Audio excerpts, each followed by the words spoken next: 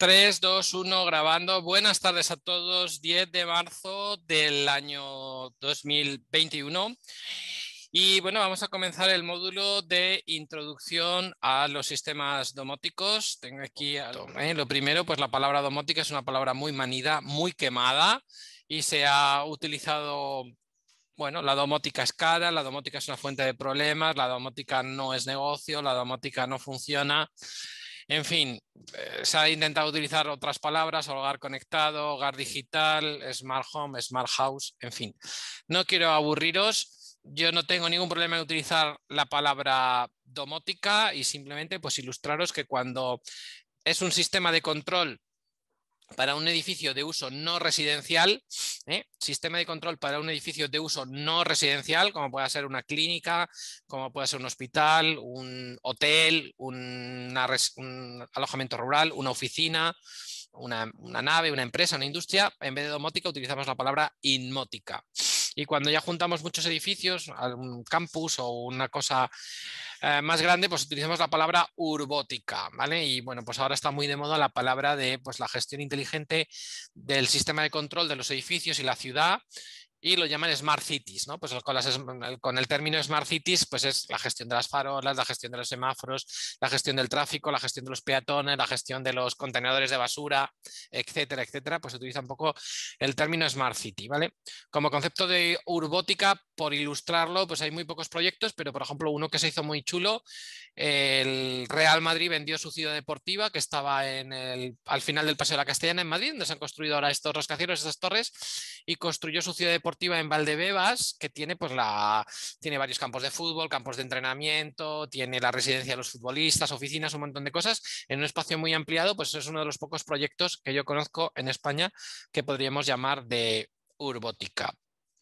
Bueno, un par de terminología más que encontraréis en la literatura. El Building Management System, eh, pues es el sistema transversal de gestión de los edificios. Yo puedo tener un edificio, por ejemplo, de oficinas cada oficina puede tener su domótica, su control del clima, su control de accesos, pero transversalmente el edificio puede tener su BMS, su Building Management System o gestión transversal de todo el edificio. ¿vale?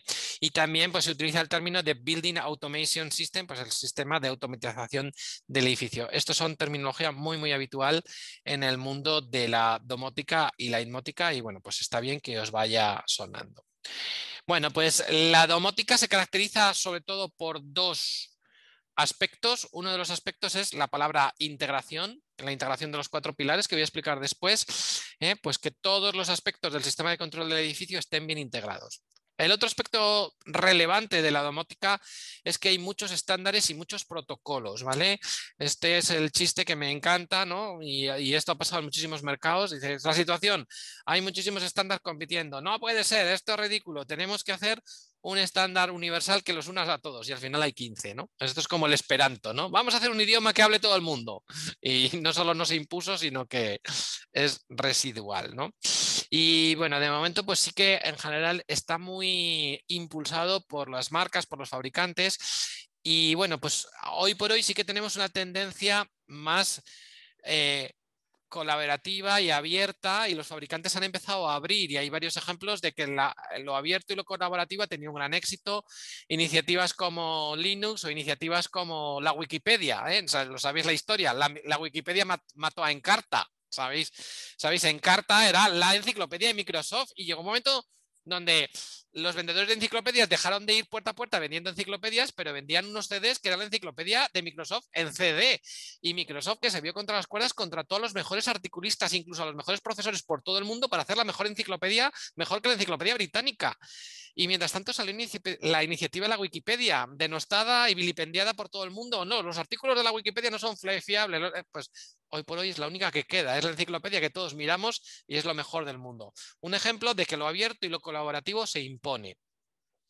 Pues en los sistemas de control y en la domótica pasa un poco lo mismo. Los protocolos abiertos y colaborativos se están imponiendo frente a las soluciones cerradas propietarias impulsadas por los grandes fabricantes. ¿eh? Hoy por hoy la comunidad está haciendo cosas grandiosas. Bueno, lo hemos visto aquí como un NAS de software libre, el True NAS, puede estar casi a la altura de un NAS ah, de pago como puede ser el Synology. Y hay montones y montones de ejemplos. Yo siempre digo que la comunidad si se pone y hace ingeniería inversa podrían construir un reactor nuclear, un submarino y un cohete a la luna.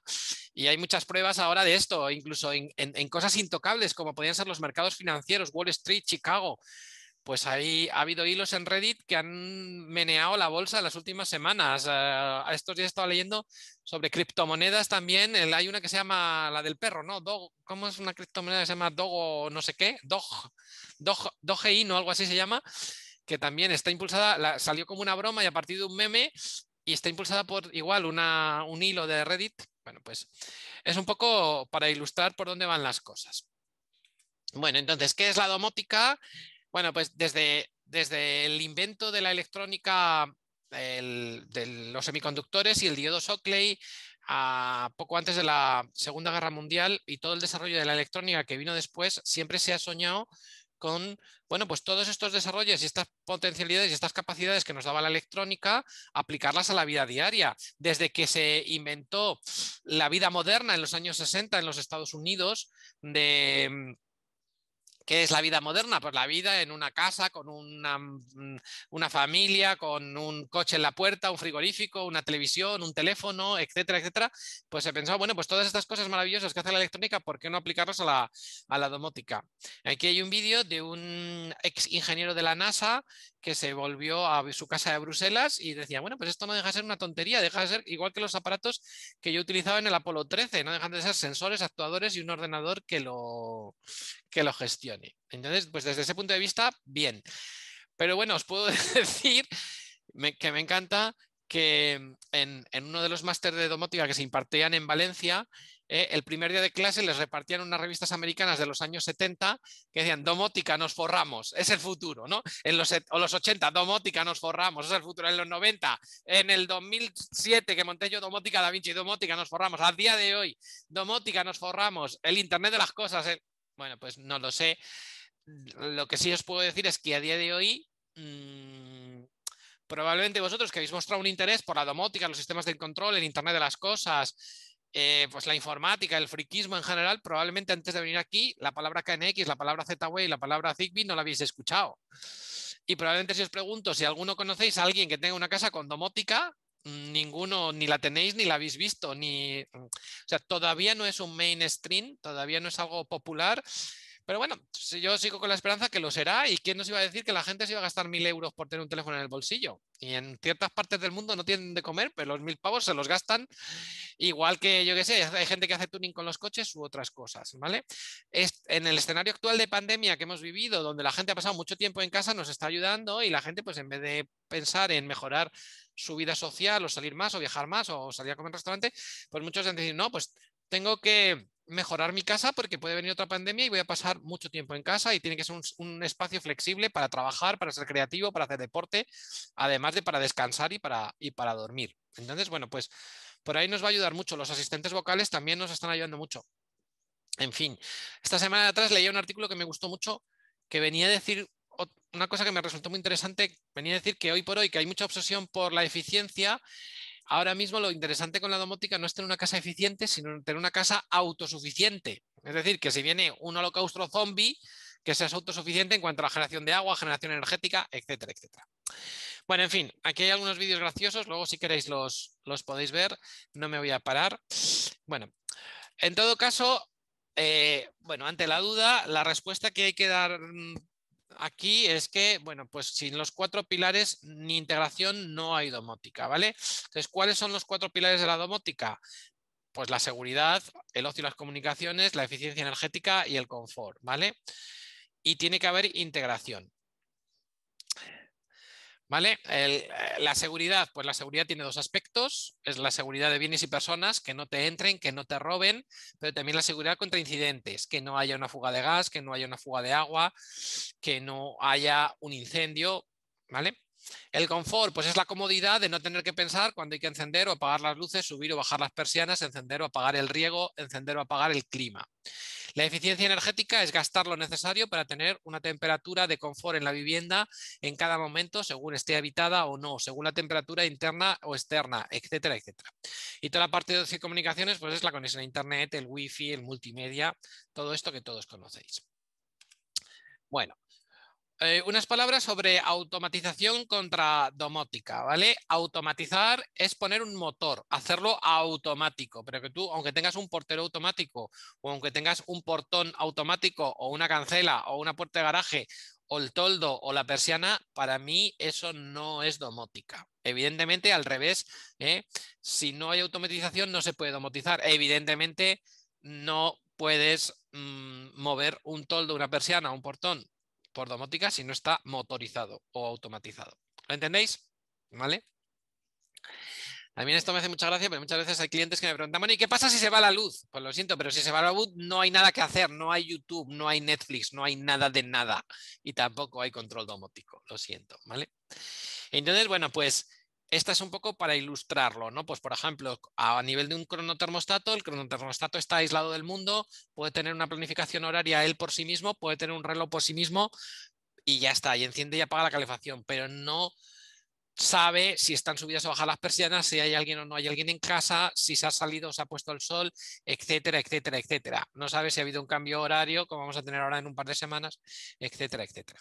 Entonces, más o menos el viaje es que viajamos del hogar aislado, donde hay un montón de chismes, trastos o dispositivos, cada uno haciendo la guerra por su cuenta, al hogar conectado, donde poco a poco vamos, vamos teniendo todos estos objetos que se van conectando a Internet cada uno haciendo la guerra por su cuenta, pero ya conectados a Internet, a finalmente el hogar, domotizado donde lo tendríamos todo conectado e integrado, que es lo más importante, ¿vale? Entonces, bueno, pues el viaje sería un poco de la nada, de no tener nada, a tener algo de automatización, dentro de la automatización tener algo de domótica y a partir de ella pues hablan hoy por hoy de la vivienda inteligente, incluso hablan de que la inteligencia artificial y hay algunas iniciativas en esa línea, se van a aprender tus rutinas y no vas a tener ni siquiera que molestarte en programar tu vivienda, ¿vale? Pero vamos, yo para mí esto es querer correr antes de saber ni siquiera gatear, porque estamos más bien entre la nada y algo de automatización. apenas me cuesta conseguir que la domótica a veces incluso funcione, como para pensar que una inteligencia artificial va a hacer que eso... Pero bueno, cosas más raras se, se han visto y... Es, estimo que no estamos muy lejos a un escenario nuevo donde todos los coches, por ejemplo, van a ser eléctricos y se van a conducir solos. Muchos de vosotros me decís muchas veces, eso no lo veré yo. Pues yo barrunto que en muy pocos años eso va a ser el escenario normal, ¿vale? Entonces, pues bueno, la necesidad de la domótica, no cabe duda que la tecnología ha llegado, ha llegado a nuestras vidas, lo impregna absolutamente todo y ha llegado para quedarse. Para mí, cuando me dice la domótica es el futuro, no, la domótica es el presente, tú es que estás en el pasado, ¿vale? En fin, y realmente necesitamos viviendas y edificios inteligentes. ¿Realmente nos simplifican la vida? Eh, pues bueno, no lo sé, ¿vale? Pero sí que hay un driver ahora muy importante y es que, bueno, esto del coronavirus ha sido un palo enorme, pero lo del cambio climático, o sea, va a dejar a lo del coronavirus como una broma. Y de eso nos tomamos en serio el cambio climático, edificios inteligentes, eh, no contaminar, realmente... Mm, bueno, pues por ejemplo, cuando, cuando hablo con Omar, el de la casa de Santa Alpi, él me dice, cuando veo una foto de una ciudad, tú ves edificios que están echando humo por las chimeneas, yo veo pilas de, donde acumular energía, igual que los de Matrix, cuando veían los seres humanos, veían pilas, ¿no? Y por eso los... Eh, por ejemplo, me hace mucha gracia, mi hermana, que es profesora de la universidad, es, economista y estudia estos temas de energía, pero dice que es un horror, un escarnio, un esperpento mirar, por ejemplo, aquí tenemos cerca el parking de la calzada en el mes de julio. Es un espanto. Primero, los coches sin tapar. Un montón de energía solar que se va a la nada. Porque si pusiéramos paneles solares y tapáramos los coches, los coches estarían a la sombra. Entonces, luego, esos coches los arrancamos con combustibles fósiles y gastamos otra montaña de dinero en encender el aire acondicionado y enfriarlos. Es una locura, lo mires por donde lo mires. Cuando si simplemente pusiéramos paneles solares, tendríamos los coches a la sombra y podríamos almacenar energía eléctrica para enfriar esos coches. ¿Lo, veis, un poco la, gran diferencia? Pero a día de hoy es una locura de que se pega el sol a 40 grados a la sombra en muchísimos sitios de España, calienta los coches como no, recogemos esa energía y luego quemamos un montón de combustibles fósiles que encima en España cada euro que gastamos en combustibles fósiles es dinero importado, es riqueza nacional que tenemos que generar para pagar esa importación y, lo quemamos y, y encima hacemos efecto invernadero y deterioramos el planeta. Entonces, pues yo pienso que toda esta tecnología, además de hacer la vida de las personas más llevadera, la gente que tiene minusvalías, de hacer más llevadera la vida de las personas mayores, que se sientan más acompañados, más respaldados, menos problemas de seguridad, etcétera, etcétera, además del confort que te pueda dar que las personas se muevan solas, que, puedas encender o apagar la luz con la voz, bueno, muchas veces es fachada o son chorradas. Bueno, también comprarse un Ferrari es fachada y son chorradas y se lo compran y hay Lamborghinis y hay Ferraris. Pero bueno, yo pienso que sí que hay cosas muy serias que nos están llegando y que toda la tecnología en sistemas de control de edificios pueden aportar mucho. ¿no? Y bueno, pues aquí hay unos, algunos ejemplos de cosas que nos han podido pasar en nuestra vida cotidiana y que con esta tecnología de control pues mm, nos podrían haber hecho la vida más llevadero de pues no olvidarnos las luces, no dejarnos las cosas encendidas, consumir menos, etcétera, etcétera. Bueno, los cuatro pilares, ya los he contado un poco, la seguridad, el confort, el ocio y las comunicaciones. Y bueno, yo desde que imparto los cursos y tengo que empezar a hacer una introducción a la domótica, añado dos pilares más. No me voy a detener demasiado, pero bueno, estaría la seguridad, estaría el confort, estaría el ocio y las comunicaciones, la eficiencia energética y hay dos más. Hoy por hoy, eh, para mí, otro pilar que se está arrimando a la domótica es el Quantitative Shelf o la e-salud, medirse. ¿Cuántos de vosotros nos lleva en la muñeca un cacharro de estos que te dice cuántos pasos tienes dados, que monitoriza tu sueño, tu pulso, tu frecuencia cardíaca, tu... ¿eh? Pues esto se puede pegar y se puede relacionar muy bien con la domótica. Y la otra, el otro pilar que también está llegando muy bien es el de la robótica de servicios. ¿eh? Robots para todo, hay robots para limpiar los canalones, robots para limpiar las piscinas, robots para fregar el suelo, robots para barrer el suelo, robots para cortar la hierba, etcétera, etcétera. ¿Vale? Entonces, pues bueno, hay, hay bastantes cosas muy, muy interesantes.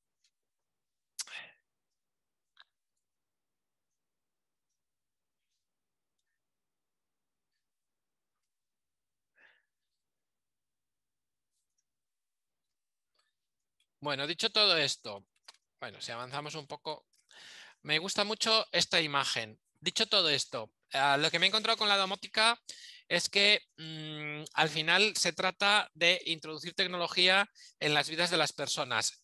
Y eso a veces es difícil. ¿eh? Se pueden escribir libros y libros sobre la gestión del cambio. ¿Veis esta imagen que hay aquí en la transparencia? ¿Eh? Luis, ¿puedes hacer el honor de leerlo? o traducirlo.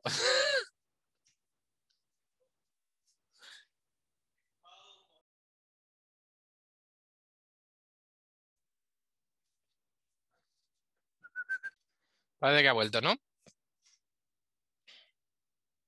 Bueno, pues este es un cartel que pusieron...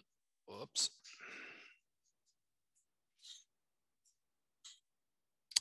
Este es, este es un cartel que pusieron en Dinamarca en un hotel cuando cambiaron las eh, bombillas de gas por bombillas eléctricas, ¿no? Y pone, esta habitación está equipada con la luz eléctrica de Edison. No intente encender la luz con una cerilla.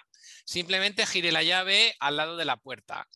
Nota, el uso de electricidad para la iluminación no daña de ninguna manera su salud ni la calidad de su sueño. ¿Lo veis?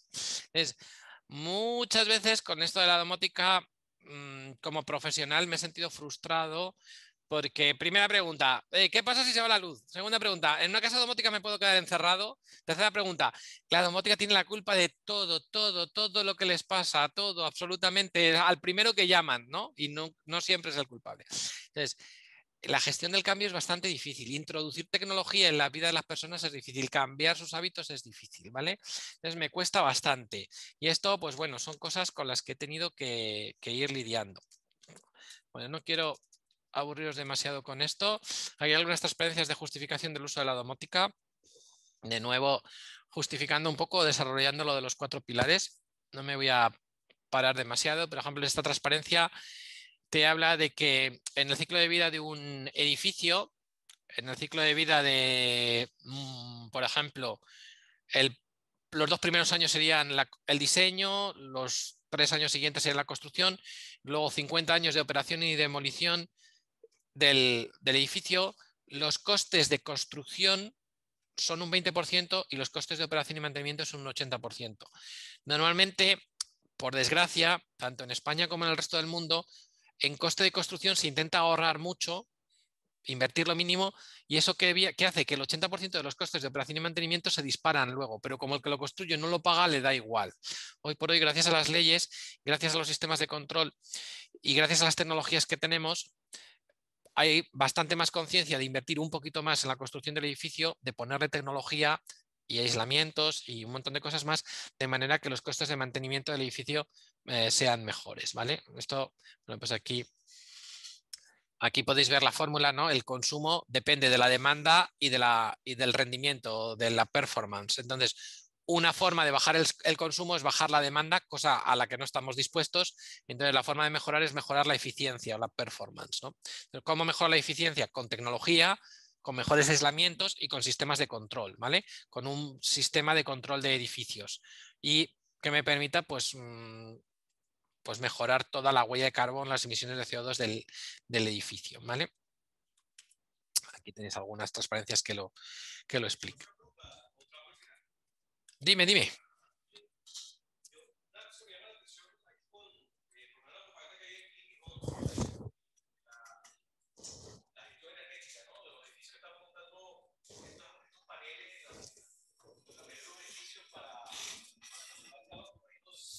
Efectivamente.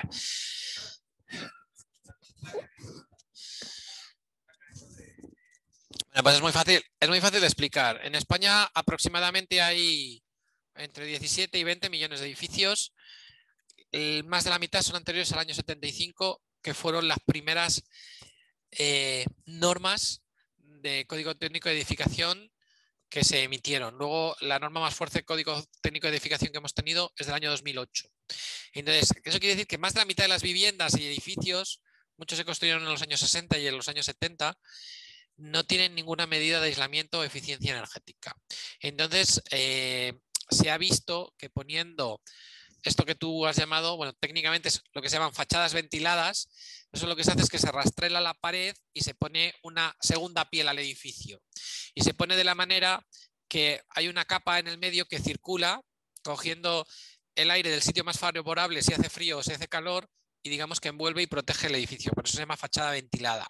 Entonces es una inversión grande, pero el ahorro es muy grande. ¿vale? Entonces aquí en Gijón hubo un plan de fachadas ventiladas y se han renovado muchísimos edificios. A eso sumado a que había un plan para el muro de San Lorenzo hacer los edificios más bonitos, más visibles y mejorar un poco la ciudad. Y por eso se hace.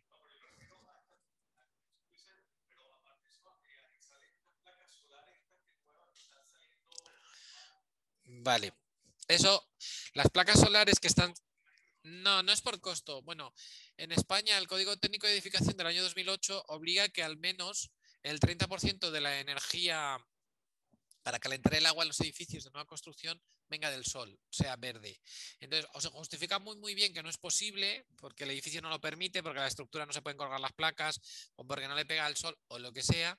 O si no, vas a encontrar que la mayoría de los edificios modernos, en lo alto, va a haber placas de solar fotovoltaica. Y, eso, y por eso se ponen, porque les obliga la ley. ¿Vale? Para capturar el calor del sol y calentar el agua, o por lo menos un porcentaje del agua con esto.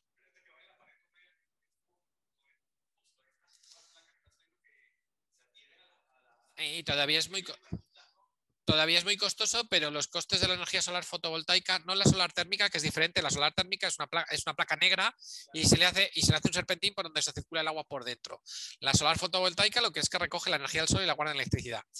Eh, los costes han caído mm, muchísimo y cada vez es más popular, ¿vale? Bueno, entonces, para concluir esta introducción, digo, bueno, la domótica la eterna promesa. Yo lo siento, pero sigue siendo la eterna promesa. Me gustaría decir otra cosa, pero esta transparencia todavía no la he tenido que cambiar, aunque podía cambiar a los futbolistas. ¿eh? No, sé a quién podía poner aquí. Pero bueno, tenemos un escenario muy, muy interesante. Ahora mismo puedo afirmar que todas las casas, todos los edificios están conectados a Internet, incluso en el sitio más recóndito y chusquero. Lo puedo afirmar. ¿Puedo afirmar que todo el mundo tiene un smartphone en el bolsillo? Lo puedo afirmar, ¿no? Mirad, la foto. Estas fotos son las dos últimas veces que hemos tenido cambio de papa. El de arriba es el Ratzinger, el alemán, y el de abajo es el Bergoglio, el argentino. ¿Veis qué diferencia? Entonces, ¿puedo afirmar que todos llevamos un smartphone en el bolsillo? Sí, ¿no? ¿Puedo afirmar que puedo hacer un controlador domótico con menos de 50 euros? Lo, lo hemos visto ya, ¿no? Y encima ahora tenemos tecnología radio con sistemas mallados que os enseñaré en el curso, Z-Wave, Zigbee. Y entonces, bueno, pues el escenario se ha vuelto muy, muy interesante. Y además, por cuatro duros, porque quieren controlarnos o emitirnos publicidad, porque está escuchando todo el rato, no me quepa ninguna duda, tenemos los asistentes vocales. Entonces, con todo esto junto, a mí me hace ser optimista respecto a la demanda de sistemas de control para edificio en general y en particular para la domótica, ¿vale? Pero, pero, en fin.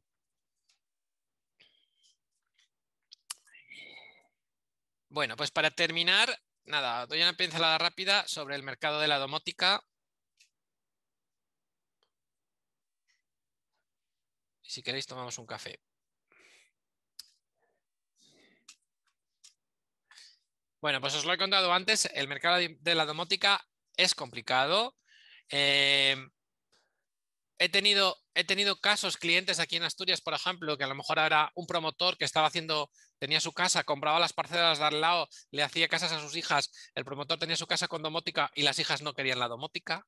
He conocido promotores que tienen los pisos construidos y dicen, bueno, no vendemos los pisos, ¿qué hacemos?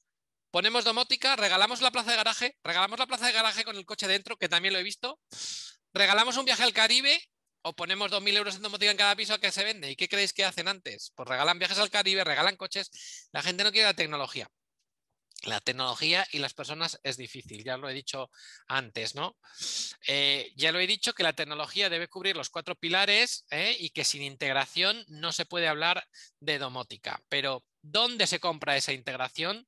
¿Eh? En el Leroy Merlin, donde me venden la infraestructura, en el MediaMark, donde me venden cosas que tienen la lógica, pero no me venden la infraestructura, a mi instalador electricista, que solo le interesa poner el cuadro, las conmutadas, las luces, cobrar y salir corriendo y no tener que volver por allí porque nunca ha vuelto, porque ellos hacen sus instalaciones y se van.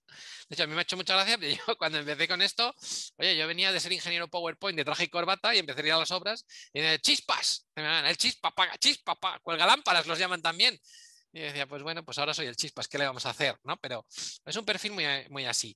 Y los arquitectos, también os digo, no son prescriptores, no tienen ningún interés en la tecnología ni en la belleza intrínseca de la tecnología. A lo mejor gente como yo, o como Jaime, o como algunos otros de vosotros, yo siempre digo le vemos una belleza intrínseca a la tecnología, algo por tal nos, nos, enamora, nos apasiona, pero no son los perfiles, es complicado, ¿no? Luego, ¿qué tecnologías hay disponibles? No se conoce, no se conoce. Si yo os digo, me voy a comprar un coche, pero estoy dudando entre un Kia y un BMW, todo me dirán, oye, mi, comprate un BMW si te lo puedes permitir, lo sabéis. Pero si yo digo, me voy a hacer mi casa con domótica, me lo preguntaba antes Aika, me voy a hacer mi casa con domótica, pero estoy dudando entre hacerlo con X10 o con KNX. Y no me sabríais decir cuál es la diferencia. Y se parece como un huevo una castaña. ¿eh? Por lo menos después de este curso lo tendréis un poco, más, un poco más en perspectiva. Pero esto es un problema porque mucha gente toma decisiones erróneas porque no se conoce. Y los precios, pues los precios todavía son caros, ¿vale? Es verdad que con el módulo este, el ESP32, ahora te puedes comprar un módulo con entradas, salidas a 3 euros el puñado de módulos, no uno, sino varios, y se pueden hacer cosas súper chulas. Es verdad que ahí pues con el Zigbee, con el Lidl, con el IKEA, con las Philips Hue, se pueden hacer ya cosas por muy poco dinero, con el Z-Wave con un poco más de dinero, pero es que hasta ahora aquí, mirar, un módulo de 8 salidas controladas, 340 euros. Con 8 salidas controladas hago 8 circuitos de alimentación, de, hago 8 circuitos de iluminación o 4 persianas. ¿eh? Ya bajada de bandera 300 euros solo el módulo. A eso añádele el cable, el conexionado, la programación de ese módulo que tiene su complejidad y no se hace en dos minutos. Entonces, la percepción del cliente es mala ¿eh? La percepción del cliente es la domótica es cara, la domótica es una fuente de problemas. Si me compro una domótica KNX, Longworth, Bushing, X10, no sé si es un Mercedes, un Renault, un Kia o qué narices estoy comprando. Entonces me compro una super tele de plasma y me quedo tan contento. Yo flipaba. La gente se compraba una tele de plasma 3D por 3.000 euros sin pestañear, pero no les, pedías, no les pidas 3.000 euros para gastarse en domótica, que no se los gastaban. ¿eh? Y la mayoría de esos, después del primer día, las gafas 3D cayeron al cajón de al lado de la tele y no las volvieron a coger. De hecho, si os fijáis, estos de las teles son muy listos y van renovando cada poco. Primero era la tele flat, la tele super plana. Luego la tele 3D y ahora la vuelta a la tele curva otra vez. Y luego la tele super plana volverá a ser mejor. Le van dando vueltas y vueltas y vueltas. En fin. Pues esto, esto, es, esto es la realidad que yo me he encontrado y que me sigo encontrando. ¿vale? Y bueno, sobre el mercado en sí, mmm, yo lo que encuentro es que hay una falta de conocimiento de la figura del integrador, una gran falta de estándares bien establecidos, una gran falta de economías de escala. ¿Eh? y que es un mercado sobre todo em, empujado por la oferta y que falta valor añadido contra valor percibido contra precios. Se dice siempre que solo el necio confunde valor y precio, ¿no? Y entonces yo creo que la domótica todavía es muy cara para lo que aporta. ¿Vale? Los del KNX, que lo vamos a ver aquí, ellos dicen que no es que sea caro, es que es de alto precio. Pues vale.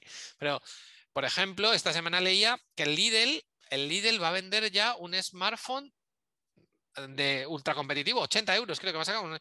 ¿Cómo puede ser posible? 80 euros un aparato que tiene una pantalla táctil, que tiene un chip que es la bomba, que es un ordenador ahí dentro, que tiene antena GPRS, GSM, GPS, Wi-Fi, Bluetooth, tu madre allí dentro, 80 euros. ¿Por qué? Porque hay economías de escala, porque fabrican miles y miles y miles de unidades. Con la domótica todavía no hemos conseguido tener economías de escala. A mí me maravilla que esto lo vendan por 20 euros con la tecnología que hay dentro y lo que hay detrás de análisis de la voz, esto, el, Google Home, ¿vale? ¿Por qué lo venden por 20 euros en realidad? Y dentro de cuatro días nos lo van a regalar comprando unos calcetines. En realidad porque está escuchando todo el rato, porque quiere ofrecerme publicidad, porque quiere saber lo que le pregunto, ¿eh? porque, porque, aporta más. cuando algo es gratis, el producto soy yo, ¿vale? Bueno, no quiero aburriros demasiado con los agentes del sector tampoco.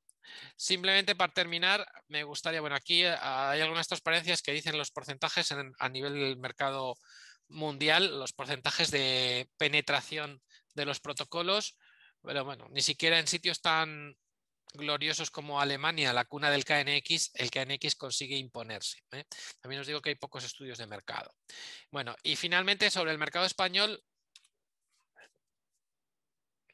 Bueno, ¿cuál es la situación de la domótica en el mercado español? Bueno, pues evidentemente está muy relacionado con la pujanza económica, ¿vale? Curiosamente, la mayoría de las empresas de domótica y la feria de domótica se hacía en Valencia y todas están alrededor de Valencia.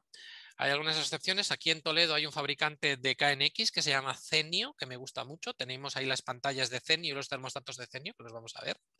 En Asturias está Ingenium como fabricante en Madrid hay otro fabricante de longboards que se llama ISDE, pero las instalaciones más interesantes, pues evidentemente se hacen en las zonas ricas de Madrid, se hace mucho aquí en el campo de Gibraltar, evidentemente, está Marbella, está Villa Zagaleta, está aquí en Cádiz, hay algunas urbanizaciones de mucho nivel, por supuesto, pues en Baleares y en Canarias, ¿vale? Hay, hay bastante trabajo porque hay bastantes casas, bastantes villas, ¿vale? Me consta, ahora que vamos a ver al KNX, que en, en Baleares les cuesta mucho encontrar integradores y programadores buenos de KNX. Y yo lo digo en todos los cursos. Pero claro, tenéis que estar dispuestos a iros a vivir a Mallorca o incluso a Ibiza y a tener que dormir en un sitio porque no hay casas, ¿no? Entonces, pues bueno, esa es la situación en España.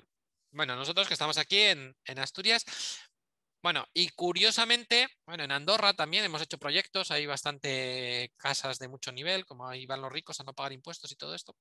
Y curiosamente, bueno, en el País Vasco hay algunas empresas y hay algo de movimiento de domótica, pero no hay mucha correlación con la pujanza económica y con la riqueza que hay en el, País Vasco. Pero bueno, también las hay, ¿vale? Aquí, por ejemplo, en, en, en Oyarzun está ABB, Niesen, y también es una referencia en el tema del, del KNX, ¿vale?